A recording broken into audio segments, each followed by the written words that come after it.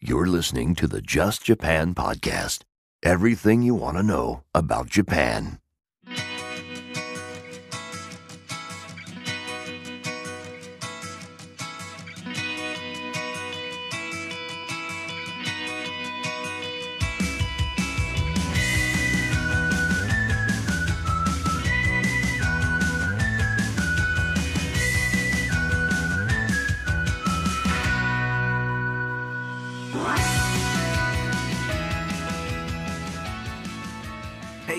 Kevin here from the Just Japan podcast, and this is the Just Japan podcast, episode number 147. The Just Japan podcast is the weekly podcast that brings you everything all Japan, and this week is just like the other ones. We're talking about Japan. Um, I live here in Kobe, Japan, with my family, and each week I bring to you a different guest to talk about a different topic that will make you happy. Because if you're listening to this show, you're definitely a Japan person, someone who's interested in Japan. You want to live here, you want to work here, you want to travel here, you're interested in the culture, the history, something. And that's what this podcast is all about. Now, I'm going to keep the intro and outro short this week because I've got some serious issues going on with my voice. Um, I either have, um, I'm pretty sure it's some, some pretty crazy allergy issues going on right now. Uh, my throat hurts a bit, it's scratchy, it's icky. My nose is stuffed up. I sound like I'm talking through my nose. Um, so this week we're going to be talking all about sake, Japanese sake. That's right, Nihon Shu, that uh, alcohol drink that is synonymous with Japan because it's from here. And you know what? It's a topic that I really don't know much about. Occasionally I will have a little bit of, of, of the stuff, but I don't know anything about sake. So I brought on someone who does. I brought on a sake expert. That's right, Mr. Gordon Heady.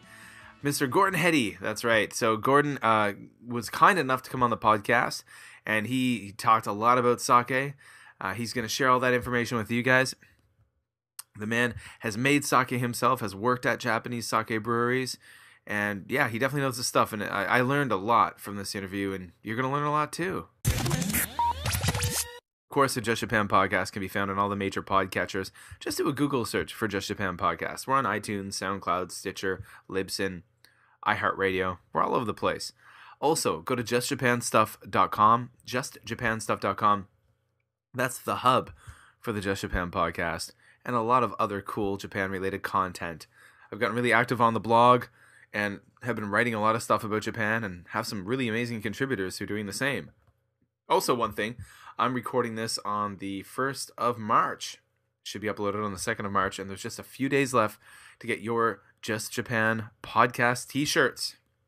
There will be a link in the show notes at justjapanstuff.com to get your Just Japan podcast t shirts over on Teespring. So go check that out. Um, yeah, so hey, let's just get into things right now and check out my talk with the very impressive Mr. Gordon Heady, a man who knows a lot about sake. Please hang up and try again. Welcome to episode number 147 of the podcast, the interview portion. And we're talking all about Japanese sake Nihonshu tonight. And this evening, I'm very happy to have guest, uh, first time guest, Gordon Heady. Thank you for joining us. Thank you us. so much.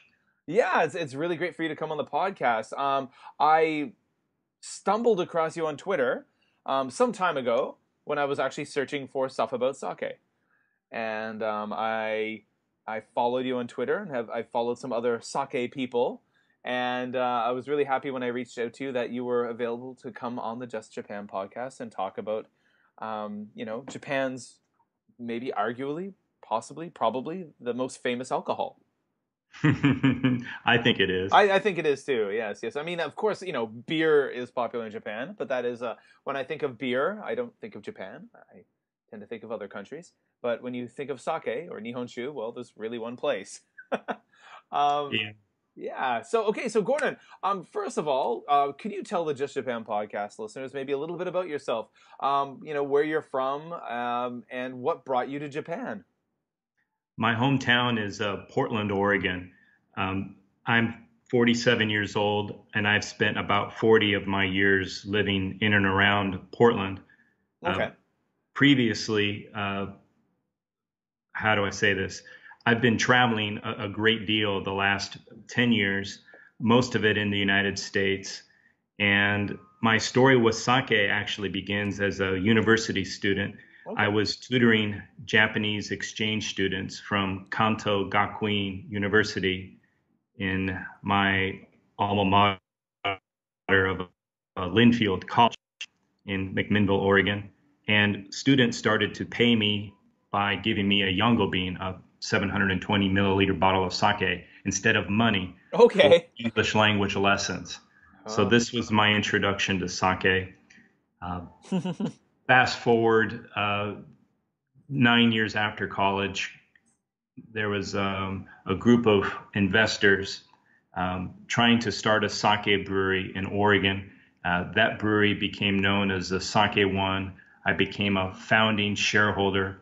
I owned a very, very small portion of that brewery, but I became a, a great advocate for sake that's brewed in Oregon Okay. Wow. and that business is still thriving. Um, but maybe five years ago, I sold my share of that business, took some time off, and found myself in Kyushu. And I knew a lot about sake, but not a lot about how it was actually made by craftsmen. Okay. And I met a man who owned a brewery, and over dinner, he gave me an invitation to work at his brewery as a kurabito, a production sake brewery worker Oh wow. and that started my odyssey of brewing sake. So the last four winters, I've been making sake as a part-time or full-time job, uh, usually working seasonally. This is the first year in four seasons that I've not actually brewed sake, and that's because my other job when I'm not brewing is as an English teacher. Okay. I came to Sapporo, Japan to take a job as a teacher. And unfortunately, there's not a lot of sake being brewed in Sapporo. So I'm not brewing sake at this time. Wow. Uh, So, so when you were living in Kyushu, basically, you would spend the, the, the kind of the brewing. Is is there such a thing as a brewing season? yes, and it's primarily the fall and the winter. Okay. And that's when Some you so so you were basically you were working um, at sake breweries, um, helping brew the sake during that time of year. Yes. Oh wow, that's awesome. Yeah, and I learned a lot about sake as a result. Um, my language skills aren't very good, but thankfully, the last two master brewers for whom I worked spoke good enough English where they could teach me some of what they knew. Okay. and I would shadow them often doing their their work with them and it was really a phenomenal experience uh, the first three seasons I actually had an apartment inside the brewery so I actually lived inside of the sake brewery during the brewing season Oh wow. and it was a, a, a highlight of my life Wow, that is amazing. That's a really cool story. So, you know, you fell in love with with sake because essentially students were were paying you in sake during university. And, Yes. uh, and um and then years later in America, you you you stumble back into or you stumble back into sake again, I suppose. Um, or maybe maybe not. You said you you became very interested in it. Um, so you so when you first came to Japan, um, the intention was for you to come here to learn how to make sake. I came as a tourist to visit breweries Okay. And I didn't have any pretense that I might find a job. But lo and behold, the second sake brewery I visited, the owner of the brewery took a liking to me and offered me a job. I, I wasn't asking for one, he just offered it to me. oh wow. So it was a very uh, fateful day in my life. I've got to spend more time hanging around sake breweries. My goodness, uh, because that, because that sounds like a great job. Um, no, it's interesting. Um, just pre pre interview, um, folks out there listening, um, before uh, before I started recording and, and I first started chatting with with Gordon, I started kind of a bit telling a little bit of a story. Um, maybe I'll mention that now, but I mean, I live. Uh, I don't know. So I don't live in the sake brewing district, but I work in the sake brewing district here in Kobe, Japan. Um, not at a brewery, but at a school. But we are surrounded by breweries, and there's a, a great, um, a great. Uh, if you ever come to Kobe, Japan, you can pick up at all the the ma- major train stations an actual sake brewery walking map, a walking tour map, and you get off at Hanshin Oishi Station, and you just follow this map, and you can just hit about a dozen sake breweries. And uh, mind you, of course, you're just going to the gift shops and the museums. But um, it's it's I always tell people if you're coming to Kobe, It's free, free admission to the museums, and they have free samples. It's phenomenal. it, it, it is phenomenal, and I haven't done it enough. I haven't, um, but I, you know, bring good walking shoes and uh, a liver protector. Um, but it's it's it's it is awesome. But that's something we can talk about a, a little bit later. Um, okay, so um, for those out there who may not know, could you? And, and I got to admit, I don't really know much. I mean, I think it was just until recently I kept I would always say sake was a rice wine, but I've been informed that it's actually more closer to beer than wine.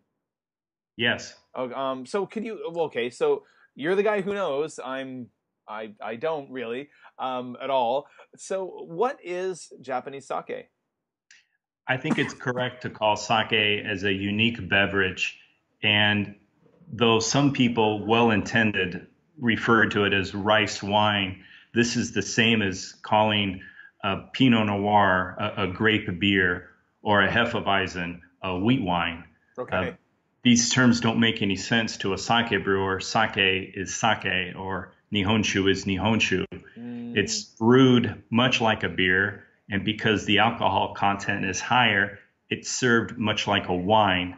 Mm. The alcohol content is typically between 15 to 20 percent, although there are some exceptions.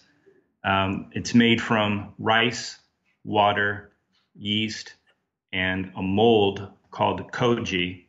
It's also known as Aspergillus oryzae. And these are the four primary ingredients to brewing sake.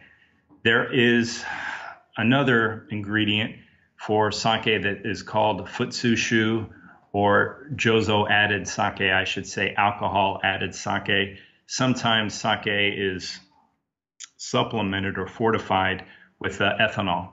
Okay, that that actually really oh really okay. So would that be the cheaper sake?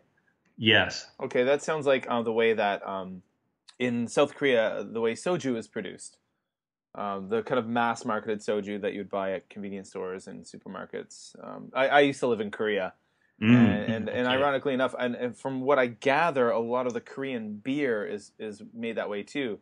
Um, and the litmus test uh, for us when I lived there, unfortunately for my wife, um, who you know was was there at the time as well, she um, whenever she would drink uh, soju or Korean beer, she would break out in like red blotches on her body. Oh no! But if she drank uh, a Guinness or an Asahi or a Sapporo or a Heineken, not an issue. So, yeah. so we, we I know I've read if you go to like a Wikipedia page, I know they, they talk about how how um there were rice shortages in Korea during the 80s. And they started to basically, essentially, the soju you buy in a green bottle, say in Korea, is uh, water, ethanol, and some kind of flavoring. Yes. So I'm I'm going to assume that ethanol is, uh, but I did not know that Japanese sake. There were types of Japanese sake that were fortified with that. Uh, yes, and it's it's fortified, but the alcohol content by law um, has to be restrained, and there's a, variety of rules depending on the quality of the sake that's made. So it's okay.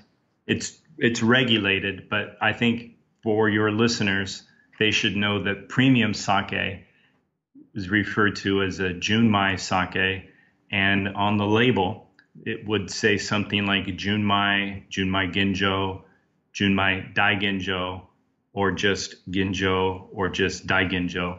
Okay. And these grades of sake account for oh, 24% of the sake that's made.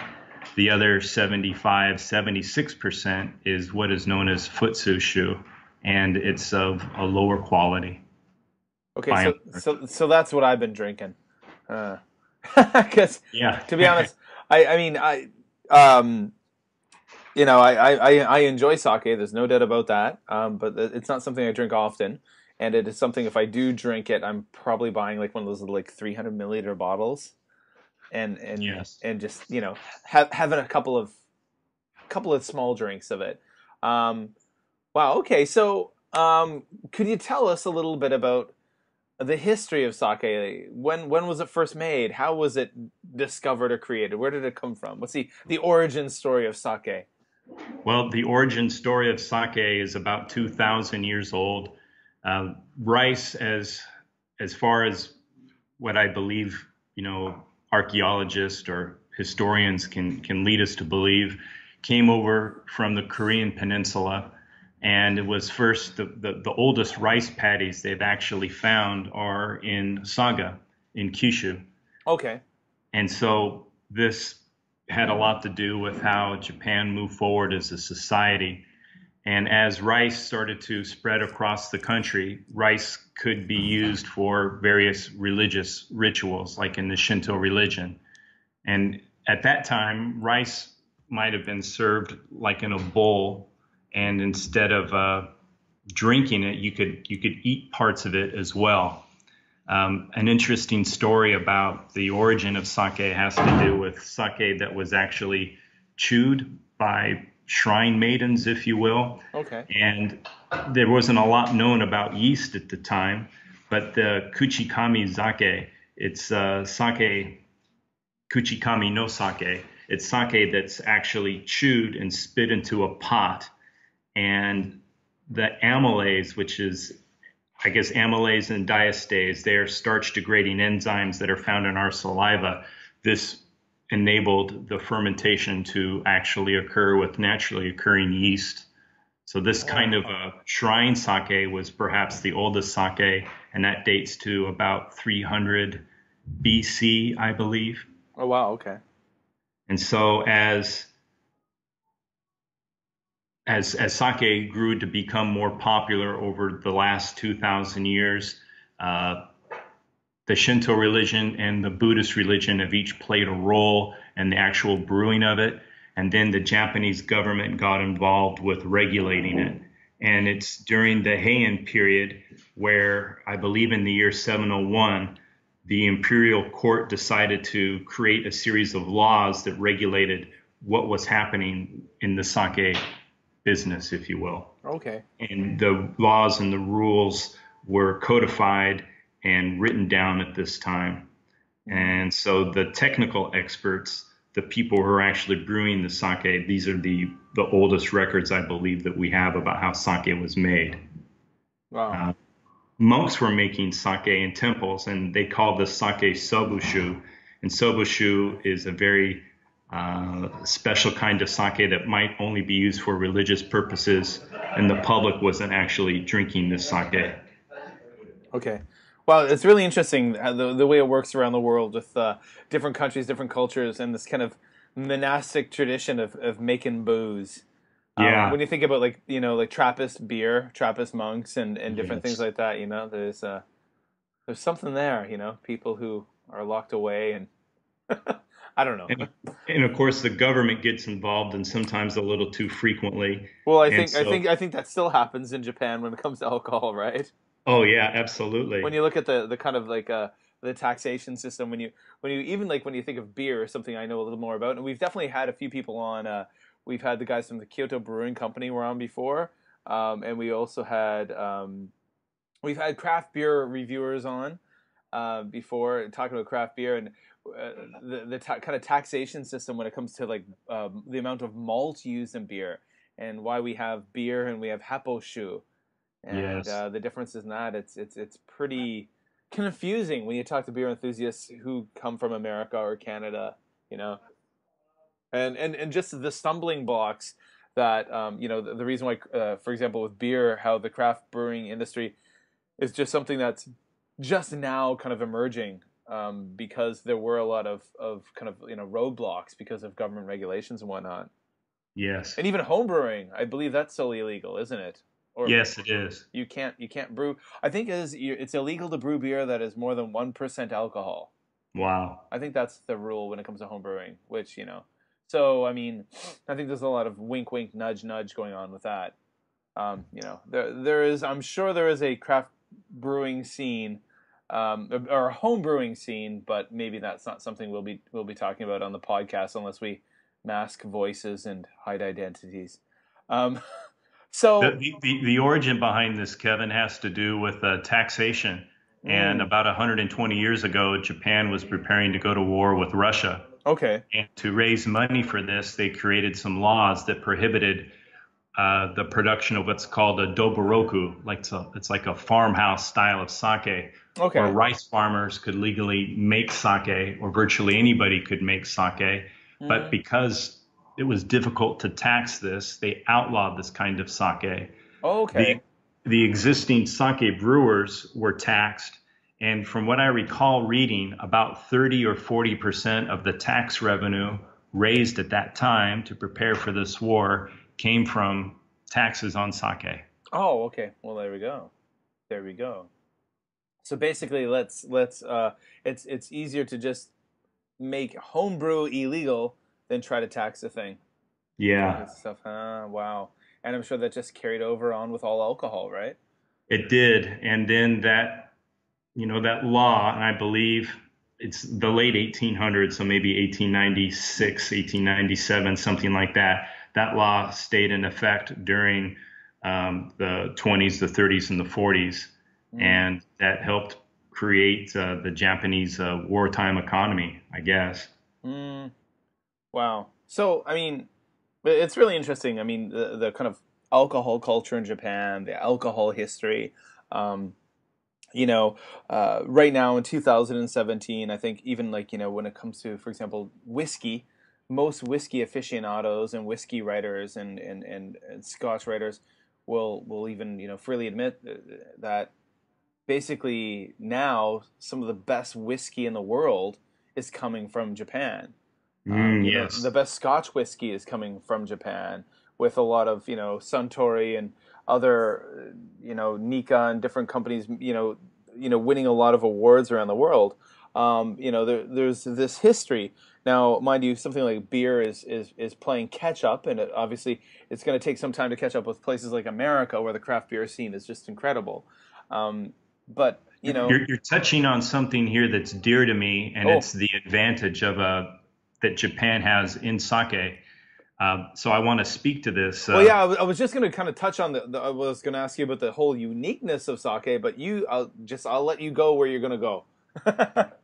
I I love the alcohol trade, and I like tasting other kinds of alcohol. Although all of them tend to give me stomach problems or headaches. Nihonshu is the one alcohol that doesn't give me any problems with a hangover the next day. Okay. As long as I'm drinking water through the evening and I'm properly hydrated, I can wake up and feel great. Mm. But uh, with respect to what you said about whiskey or beer and even wine, it can be debated where the best of these products are made. And in blind competitions, the wine of France or the wine of you know California or Oregon, the beer of Czechoslovakia or Germany or they all compete very closely with each other, and it yeah. can't be said that one region is better than the other. But with respect to Nihonshu, uh, Nihonshu made in Japan is light years ahead, in my opinion, of sake made in other countries. Oh, okay. I've, and, I've actually I've never even had sake made in another country. I've only ever had Japanese sake. Okay, yeah. Sorry. Continue. Continue. So most of the sake in the world is naturally made in Japan. Mm. There are mm, about 850 active sake breweries in Japan. Around the world outside of Japan, it's difficult to pinpoint a number, but my wild ass guess is going to be about 30. Oh, so, wow. That's it. Okay.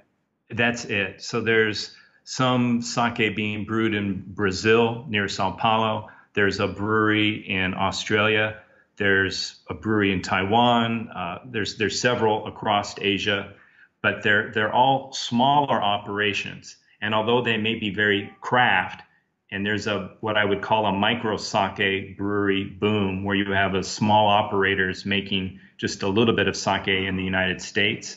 Uh, they don't have the access to some of the quality raw ingredients. First and foremost is sake rice. Uh, there's maybe 300 strains of japonica rice and you need the japonica rice to make good sake for how it's actually composed. And of these types of rice they're not naturally grown in other parts of the world. Okay. And in this special type of rice called sakamai there are there is rice that's grown in Japan that's made specifically for sake. So it's not necessarily it's, it's not rice that you would call table rice or rice that you can eat. Okay. And what makes sake rice different than table rice is that the inside part of the rice has something called a shinpaku. It's a starchy center. and it's the starch that makes for delicious sake. And part of the brewing process is that you have brown rice and you polish that rice down. It will be in a two story tall vertical rice mill typically. And by making the rice smaller to 70% to 60% to 50% of its original size, you're removing impurities that exist on the outside of the rice. And on the inside of the rice, you have just pure starch. Uh, you can make good sake from table rice, although the best sake is typically not made from table rice, and it requires a lot of technical expertise from the master brewer or the toji to do it. And so, coming to Japan, if you really love sake, this is where the heart of sake is, even though it's grown elsewhere around the world. And the big reason for that is the rice. Mm-hmm. So, do I'm going to assume then that the sake breweries would have contracts with rice farmers uh, and you know agriculturalists um, in different parts of Japan to produce rice specifically for them. Would that be correct? That's that's half the story. The other half of the story is that uh, well maybe that's one way that sake rice gets to become sake. Sometimes brewers are actually growing their own rice. Oh, so okay. the sake brewery will grow their own rice and then the third way would be making uh, buying rice from the Japanese co-op, uh, JA co-op. Okay. Uh, I'm blanking out on their official name, but you can go to the rice co-op essentially. That co-op acts as the intermediary between rice farmers and the sake yeah, brewer. JAA, the, uh, I think it's the Japanese Agricultural Association. You see them in yes. all the rural areas. They have little shops set up and this and that. Um, yes. And then so so then a lot of breweries would have their essentially have their own farms. Yes. Okay. Wow. Okay. Wow. Interesting. Neat. Neat. Neat. I I did not know that it was a different type of rice. I mean, just my own ignorance. Just you know, for me, like rice is rice, right? And no. Yeah. And the, the difference, it's like the difference between champagne grapes and grapes that you would get at the supermarket. Mm. Um, you, you can make sparkling wine from the grapes you get at the supermarket, but it's not going to taste like champagne. And that's how I like to explain sake rice versus table rice. Mm, wow. Wow, wow. Wow. So okay, um, you know, I'm I'm curious. Um, you know, a few things I'm wondering about. Um, for example, you've already mentioned about the quality, you know, the, the differences in quality in sake. Um, now you you know you said that just basically a small percentage of it uh, 20 20 something percent is the quality kind of grade a type things and the rest is maybe not so quality um, how, how does one purchase quality sake how does one purchase really good sake how, how do we know where to get it this is difficult outside of the us uh, it's because that uh, sake doesn't age well regardless of the quality, sake doesn't have um, preservatives and it doesn't age the same way beer doesn't age well. So it's best to enjoy sake within a year of its being bottled and shipped from the brewery. Okay. There, there are exceptions to this rule, but to give consumers advice on how to buy good sake, they should look on the label and learn how to read the Japanese dating system.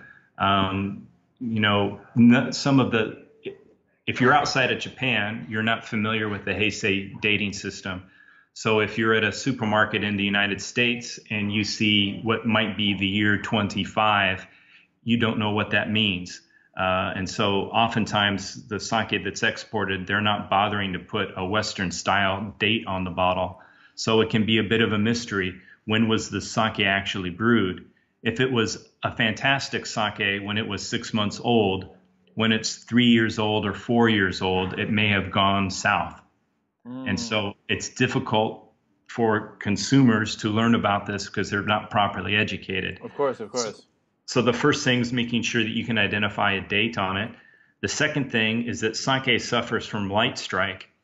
So light strike is when sunlight or ultraviolet light or any kind of light enters the bottle brown and green help protect the sake from this. But beyond that, um, if the merchandiser at the supermarket has the sake exposed to light for too long, there are trace amounts of manganese and iron that were present in the water. And with the exposure to this light, the flavor, aroma, and appearance of the sake will change. And so finding sake that's in a dark bottle or in a box or wrapped in newspaper, uh, if the sake has been protected like that, then that's a good sign that a consumer can buy it. Wow, I so didn't know that. That's some of my best tips for buying sake. Uh, depending on where your listeners are, there are really quality importers and distributors that care about educating and stocking sake. Uh, but at the local sushi restaurant where these where your listeners might live, if it's outside of Japan, mm-hmm. you're really rolling the dice on this. Uh, some American consumers, for example, are drinking Gekkeikan uh, or Ozeki, but it's actually brewed in California. And although it's not terrible, it's not to be confused with premium sake. They're not making it with uh, premium sake rice, and they're making a lower quality product for consumers that aren't very educated about quality sake. Uh, yeah, well, I mean, I, I you know, I, I, suppose like when I talk to my mom and dad who live in um, in you know eastern Canada, and they live in a kind of a small, a smallish city outside of the capital, Ottawa, and, and they talk about how you know at their local. Um, and I know in the province of Ontario we call it the LCBO, the yes. Liquor Control Board of Ontario.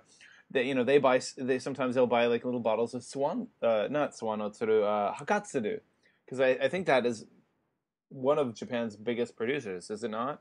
It's the largest producer. Oh, it is the largest. Okay, so that's why it's that's why they're able to buy it in their their city of fifty thousand people in Canada. Yes, because it's the largest. Okay, it is pretty damn big. Their facility. I've been there a few times, and it's just amazing the amount of tanks they have. Um, versus like the the one next to where I work called Sawanotsuru, which is uh, a lot smaller um, and it seems more um, craft-like. I yes, suppose. Yes. Um, so, so okay, so uh, you know you, you don't want that stuff exposed to the light.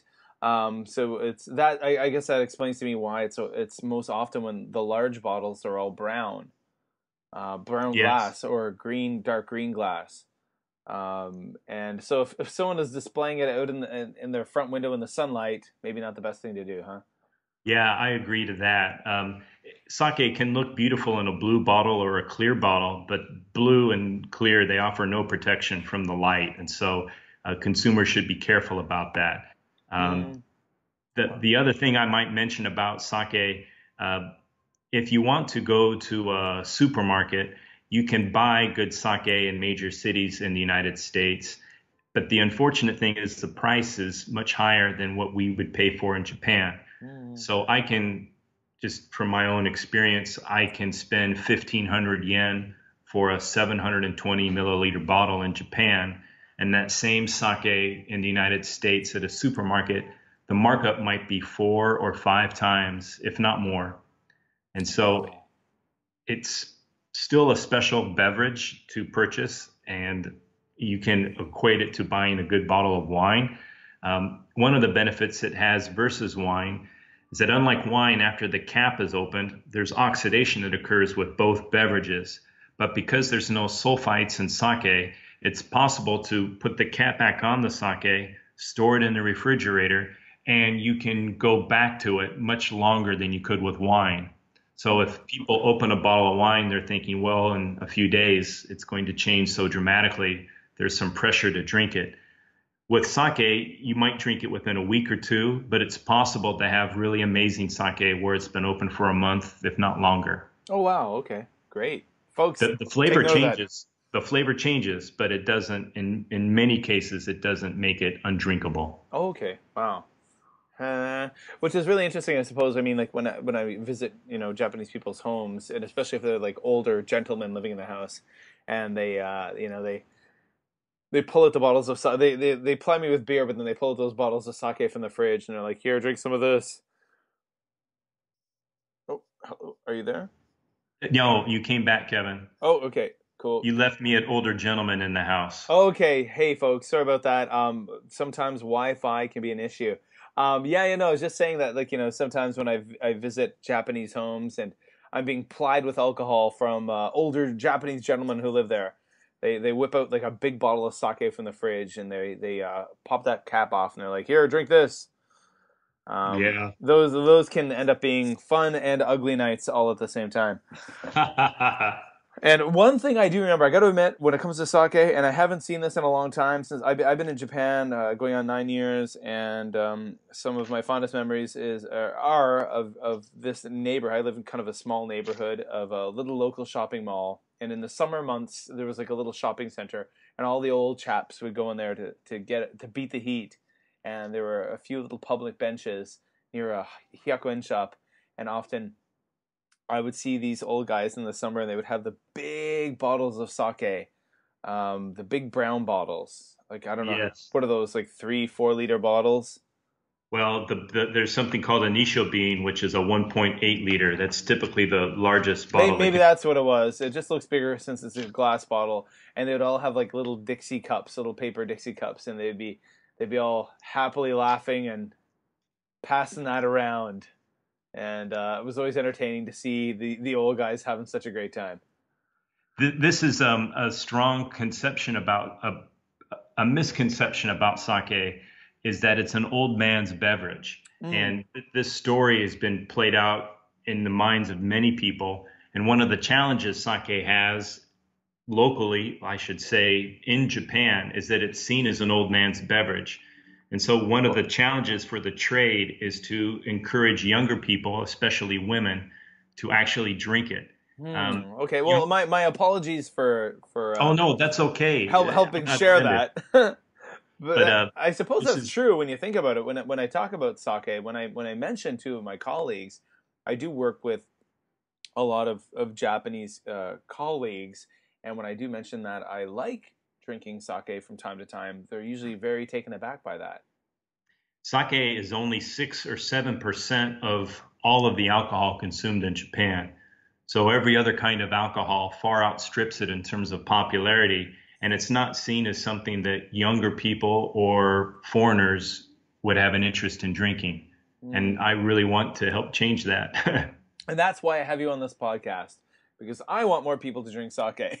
no, no, but There's I mean, some- but, I mean, uh, but honestly, it is something that I, I, I mean, like I mentioned before we started recording tonight, I've been wanting to to do an episode of the Just Japan podcast about sake because it is such an important part of Japanese culture, history, and but but I'm just gonna be honest, I I maybe I haven't had the premium stuff, but I think it's a really delicious, nice drink. Yeah. there's some things about it, regardless of who made it, that should be interesting to people just from a technical point of view. One of which are amino acids. Um, amino acids in alcohol, um, they help create uh, nutrition for the yeast during the fermentation process, and this creates for wider flavors and deeper aromas. Mm. Nihonshu, uh, sake, has 20 amino acids. Wine only has 14, and beer even less. So there's a wider variety of amino acids available in sake more than any kind of alcohol. And these amino acids, like I said, they help create interesting flavors and aromas that might not be available to people who are drinking hot sake from their local sushi restaurant. So, in enjoying sake, I like to encourage people to drink it from a white wine glass, um, a tulip style glass, or something that might catch the aroma like a Bordeaux style glass, and to serve it chilled. And if your listeners are thinking, oh, I want to go buy a bottle of sake, they should look for Junmai Ginjo, in my opinion. Uh, this will have, by and large, a fruity aroma. And since some people are used to drinking sake from the small ochoko, the little cups, you're not able to capture the aroma of sake in the cup like that. So drinking it in a wine glass, I think, is an excellent way to introduce people to sake.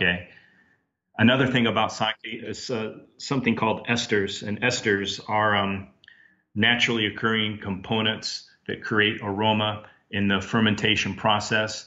And they have identified 200 esters in wine. However, sake has 400 esters. So there is some complexity um, in aroma and taste that can be found in sake that are missing in the winemaking process. Mm, wow. So, where? Okay. Oh, I mean, um, amazing recommendations, advice. I mean, uh, I didn't know that having hot sake kind of diminished the quality of it. Um, It- Not not in every case, but for people outside of Japan, the sake that's typically being served uh, at a at a high temperature, like at 50 or 55 degrees centigrade, uh, it's typically not of it's not premium sake to begin with. Inside of Japan, there are many sakes that are best enjoyed at that temperature. mm, It really depends on the style of sake that you're actually heating up and Okay. how it's actually being done. If you do it at home in a microwave oven, that's not optimum. But if you're going to warm sake, uh, you might put it inside of a the, the container that we call a tokuri, ceramic, and then you might have a pan of water on a stove, and then slowly heat the sake inside of the tokuri into that pan. And when you can grab the neck of the bottle, if you will, or the tokuri, it's like a carafe, if you will. If it's almost too hot to the touch, that's when you might want to pull it out and then drink the sake from that point. okay. But putting it in a microwave oven is not optimum. Yeah, it sounds like yeah. I think putting booze in a microwave oven just not a good idea, right? No, no, not a good idea, which is why a natural way for beginners to get into sake is to drink it chilled, drink it from a wine glass, and pay attention to the aroma. Okay, okay, great tips there, folks. Make note of that. Just Japan podcast listeners who want to to drink some sake. Um, yeah. Now, okay. So I, I'm curious. Um, you know, sources of information. If people want to go out there and, and learn more about sake, what where would you suggest they go to learn more? You know, they're sitting in America, they're in Canada, they're Australia, they're in Europe. Maybe they're here in Japan. Um, and they're not Japanese and they want to learn more. Are there some some good online resources to learn more about sake? There are. Um, the Sake Service Institute has published a lot of free information. Uh, japansake.or.jp uh, also has a lot of good information in English language. Uh, there are several books written by authors from Philip Harper, who is a British born master brewer uh, working in Kyoto Okay. to John Gauntner, who uh, teaches many people about sake. Uh, you can find good information written in English just by doing a casual web search. Uh, I'd be remiss if I didn't say I'm writing a book, and if you're I was actually I was actually going to want to I was yeah I was going Yeah. to ask you I was going to ask you the exact question. I hadn't sent you. I was like, you know, are you writing a book about this? This would be something you should. Okay, continue. Absolutely. Talk about this. the the the book is mostly done. However, I'd benefit from having better pictures to help communicate the story of sake. Okay. Uh, but I I want to just mention my Twitter handle. Oh, It's please at- do. at Gordon, G O R D O N, Heady, H E A D Y. If anybody has questions about sake or wants to get some free information, I'm if they tweet at me, um, I will email them or make available to them otherwise some of the free information I've gathered about sake over the years. Yeah, absolutely. So, like, uh, of course, you guys out there, Just Japan podcast listeners, you know, when you go to the show notes at justjapanstuff.com for this episode, I will put all these links in those show notes so you'll be able to contact Gordon. And we'll mention it again in a few minutes. Um, and I'm going to ask Gordon to send me some of the links he, he's mentioned to the uh, to those um, uh, information resources and I can post those in the show notes. So in, in the on the web page for the for the show, I have I always put all the the linky linkies. Um, um, but yes, you got go- it, Kevin. you gotta go you gotta go follow Gordon on Twitter. So definitely do that. Um, so I'm I'm curious. Um, you know, as far as as uh, sake goes, are there any ones that are your favorites? Well, the sake I helped brewed really sticks out for me personally. Uh, the brands uh, are famous in their local regions, and sometimes they can be found around the world. Uh, last winter, I worked at a sake brewery famous for the brand called Kozaemon. That's a K O Z A E M O N, and it's available in, I believe, over 30 countries around the world. And I went to that brewery, again, not looking for a job, but I went there because I thought it was one of the best sake breweries in Japan. and it ended up working out that they invited me to help brew sake. And then previous to that, there's a brewery in Fukuoka called Wakatakeya Shuzo. And their sake is more difficult to find outside of Kyushu, although some of their older aged sake, which is really delicious, can be found in uh, San Francisco and New York. Oh, nice. So I like these breweries, but uh, so much of it depends on what you're looking for in terms of taste. And there are different styles of sake that I might speak about. And some of my favorite are unusual sakes that maybe aren't the best for beginners, but for somebody who's been drinking sake for 25 years, I'm looking for something more complex and more rare. And I might take a minute to mention some of these styles or some of these breweries to you. Yeah, yeah, sure, sure. So for people living in Japan, uh, I find uh, that sake from Uehara Shuzo, um, this sake is really delicious.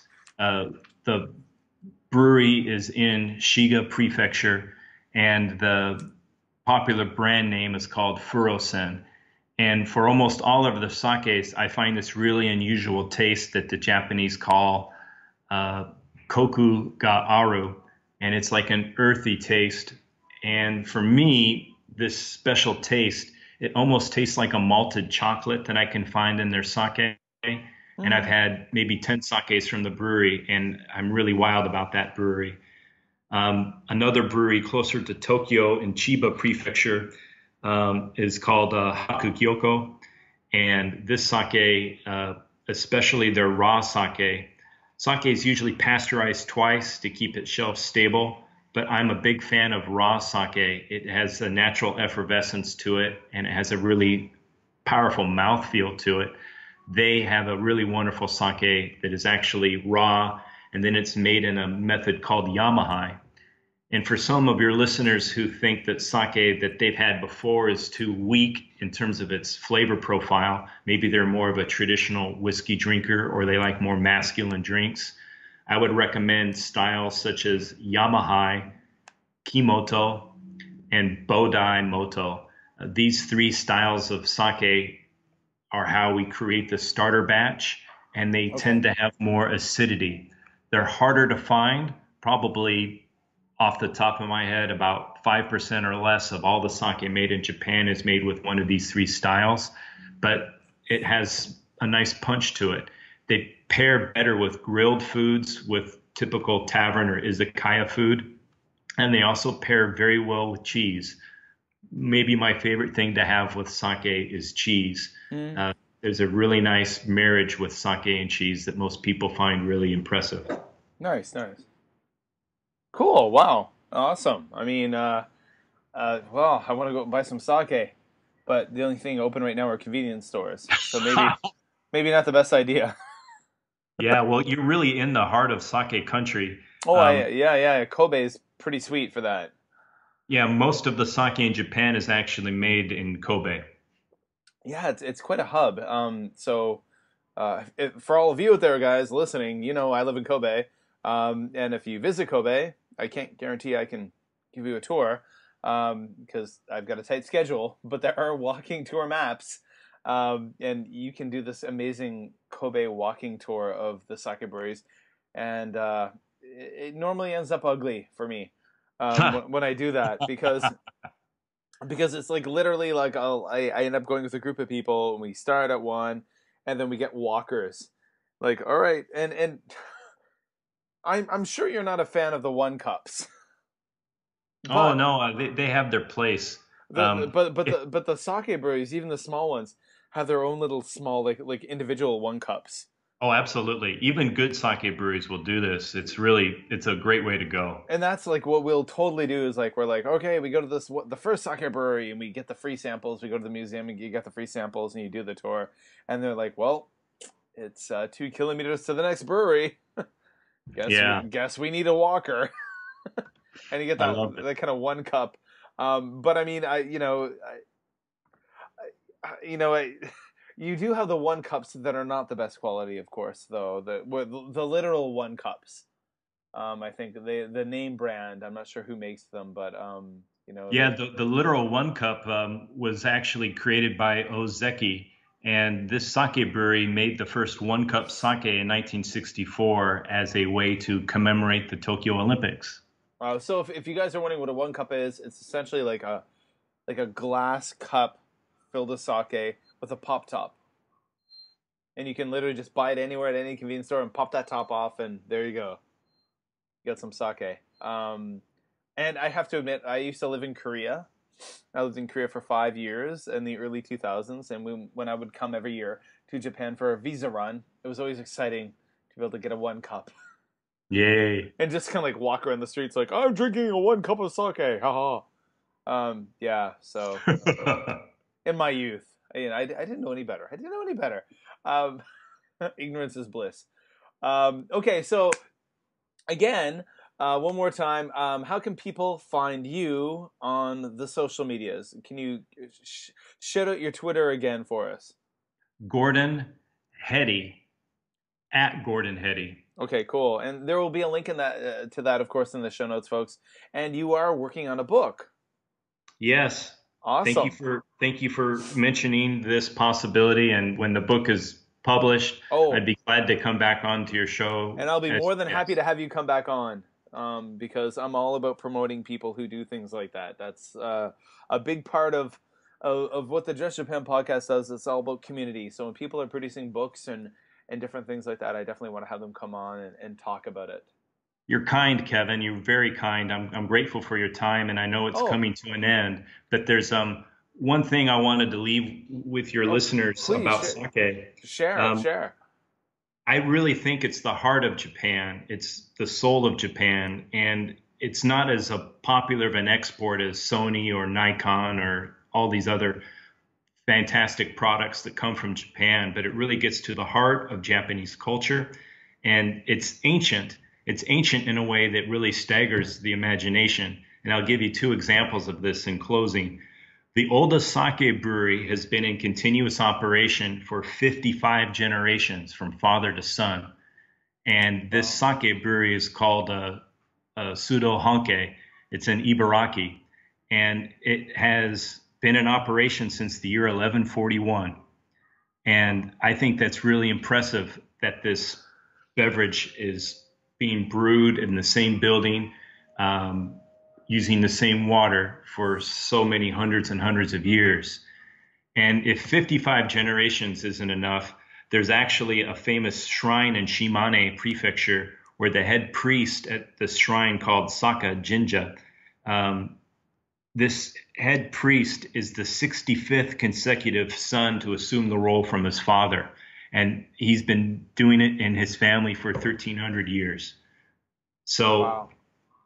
there's something tangible about Japan's history that can be found in sake that cannot be found in Toyota or Hitachi or all the other exports that Japan has. And uh, as somebody who used to work in the brewery, um, who watched how difficult it is to brew, where my coworkers and the master brewer might work for six months without a day off, uh, I really respect the people that make it and the people outside of Japan, your listeners, if they want to find a way to appreciate or honor Japan, sake is brewed in all 47 prefectures. And it doesn't matter where it comes from, you can find delicious sake anywhere. And I want people to enjoy it, give it a shot. Awesome. So, folks, get out there and buy some sake. It's uh, yeah. Then um, again, I'm not going to do it right now because I only have the convenience store as an option, and that's not not not always the best place to buy it. that's where the low quality stuff is.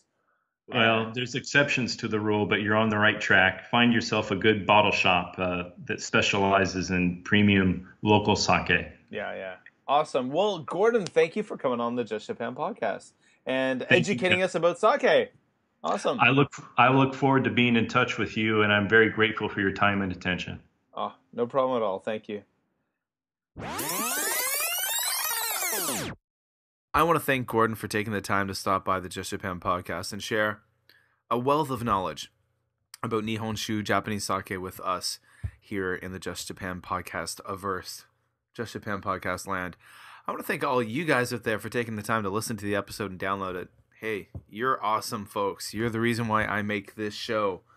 And um, you can go, of course, and find Gordon on Twitter at Gordon Heady. So at Gordon Heady. And the link will be in the show notes, of course. Go over and follow him on Twitter if you want to find out more information and learn more about sake here in Japan. Um, yeah, so that's it for this week's episode. Thankfully, in the interview portion, my voice was okay, but now it's not so okay. Uh, so, what's going on? We've entered March. March is here. Uh, the plum blossoms are blooming. They're on their way out. The peach blossoms will be here soon. And at the end of the month will be the cherry blossoms, the sakura, the hanami. I can't wait. It's going to be awesome. Uh, I want to thank each and every one of you guys for following me on social media. Of course, you can find me on, on Twitter at JLandKev. Lots of great Japan related content over on the Twitter feed. Go follow it. Uh, Facebook.com slash just Japan stuff. Lots of great Japan content over on the Facebook page. And there's a really fun community there. I've been really busy with the end of the Japanese school year. Um, I do work at an international school, but our school bucks the trend a little bit, and we actually go by the Japanese school year. So um, the last few weeks have been just absolute full on panic trying to get work done. And uh, this week, anyway, I've had to put a lot of stuff on the back burner. I haven't been able to write any posts for justjapanstuff.com, but that will be changing very soon. And you definitely got to follow justjapanstuff.com. There's going uh, there's going to be a ton of com- content coming there uh, in the near future. March is going to be just a wealth of content. There's going to be a, just expect a few posts a day there. It's going to be awesome. I can't wait. Um, I want to thank you guys for supporting the show, all the positive feedback you always send my way. Uh, you can always email me at justjapanpodcast at gmail.com. You can, again, find me on Twitter at jlandkev. Contact me on the Facebook page. Those are great ways to do it as well. Yeah. Um, I even have some YouTube channels, which I'll put links to over at justjapanstuff.com, uh, which I'm not very active on, but maybe I'll put something there over my March break. Well, everyone, uh, that does it for another episode of the Just Japan podcast. Remember, you can support the show by simply sharing the show and talking about it with your friends. Uh, when I tweet out a new episode or I post a new episode over on the Facebook page, please share it or retweet it. That helps a lot. It really does. It brings new, new awesome listeners like you guys on board. And uh, yeah, that does it for another another week of the Just Japan podcast. I apologize for not feeling sounding so ganky right now in the intro and the outro part of the podcast, but I'm not feeling very good. I'm going to be really honest about that. So next week's episode. Now, I know I think I was, I was sounding definitely better in the interview portion with Gordon, which I recorded a few days ago when I was healthier. Um, but next week, hopefully, I will be sounding better. I will be sounding gankier and all of that stuff. More energetic, more energy. All right, guys, you are awesome. Uh, again, you're you. Every one of you out there who downloaded this episode and are listening to it, you're the reason why I make this podcast and uh, I can't wait to make more episodes in the future, like next week. Haha. All right, guys, take care. Uh, my name's Kevin O'Shea. I am the host of the Just Japan podcast. I am a Canadian who lives and works right here in beautiful Kobe, Japan. and I'm I'm I'm kind of a bit sicky. so uh, take care, guys, and um, I'll be talking to you in a week. Wherever you are in the world, I hope you're happy. I hope you're healthy. Well, healthier than me. And I'll be talking to you real soon.